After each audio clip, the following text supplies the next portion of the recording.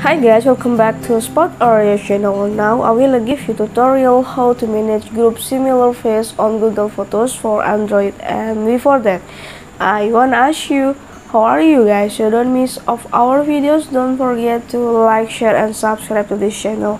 And let's start it. First to first we go to the Google Photos that you have been to install it before. Click on the Google Photos here and after that you can click the symbol in the upper of the right corner. And you can go to photos settings. Scroll until you find the group similar face. Actually the similar face is detect your face or the face that is same with the face others okay? So if you take the someone for this face and in the next year or the next month you take someone is the same one it is the same for the similar face. So the similar face can detect it for it.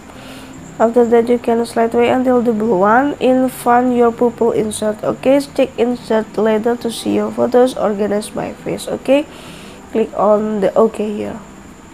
And now your group similar face is add for you and enable for you. Okay this is a tutorial how to manage group similar face on Google Photos for Android. I hope this video is useful for you. Thank you for the attention and bye.